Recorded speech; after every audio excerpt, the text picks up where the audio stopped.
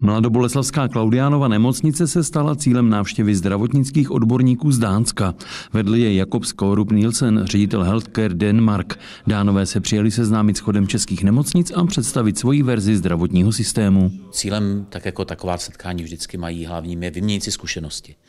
Načerpat nějaké informace o tom, jak funguje zdravotní systém v Dánsku, který opravdu se už téměř 25 let řídí jasnou strategií, kterou kdysi politické struktury přijaly a naplňují ji postupně.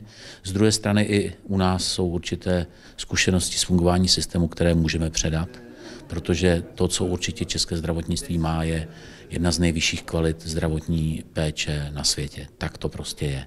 Na druhou stranu i dánští odborníci se při prohlídce mladoboleslavské nemocnice mohli inspirovat hned několika projekty.